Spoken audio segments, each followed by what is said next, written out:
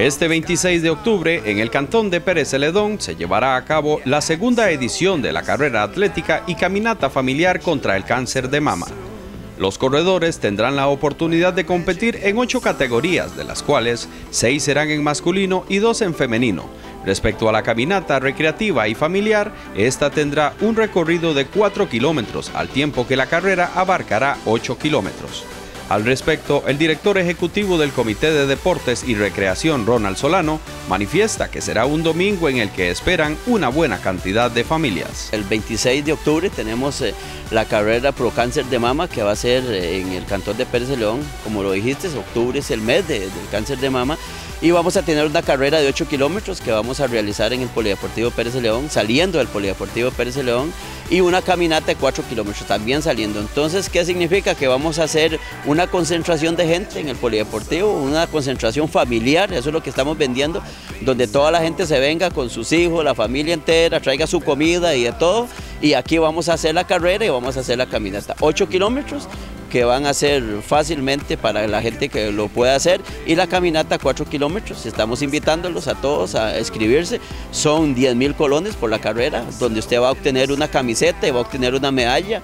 A los de la caminata vamos a cobrar 3 mil colones, ahí vamos a hacer algunas rifas para la gente que va a hacer la caminata y van a haber 8 categorías para la carrera. Entonces tienen oportunidad la gente de correr, ayudar y poderse ganar algo porque van a ser premiadas las 7 categorías. A las 8 y 30 vamos a salir con la carrera y con la caminata. Algunas gentes que tratan de, malinformar a, a la gente de las carreras de las 8 y 30, eh, les puedo informar que Saprissa y Limón jugaron a las 12 del día en el estadio Ricardo Saprissa, una cancha sintética. Entonces, no es aquello que alguien se va a morir por caminar 4 kilómetros y vamos por el lado de la montaña. Entonces, véngase para acá, no le crean a aquella gente que quiere eh, satanizar la hora, porque es una hora importante para que la gente tenga oportunidad de alistarse en su casa y venirse para el polideportivo. Solano recuerda que además de la caminata y la carrera, los asistentes tendrán la posibilidad de hacer zumba, un deporte que cada vez gana más adeptos. Va a haber zumba, va a haber otras actividades. Entonces usted se va a venir aquí desde la mañana, va a tener toda la actividad.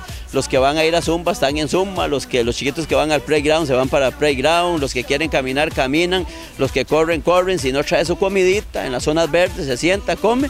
El domingo está para disfrutarlo ese día. Vamos a pedirle a Dios que haga un buen día, un buen verano. Finalmente, el director ejecutivo del Comité de Deportes Generaleño recuerda a la ciudadanía que lejos de obtener el primer o el último lugar, lo prioritario es colaborar con la Asociación Pro Cáncer de Mama de Pérez Celedón. Lo más importante, ayudar a la Asociación Pro Cáncer de Mama del Cantón de Pérez Celedón, estas señoras que están sufriendo en su propia carne lo que es este maligno eh, eh, cáncer, ¿verdad? Que es importante que la gente sepa que es muy maligno, eso eh, repercute en toda la familia y ayudemos, ayudemos, siéntase tranquilo que usted aportó los 10 mil colones y su conciencia va a quedar tranquila.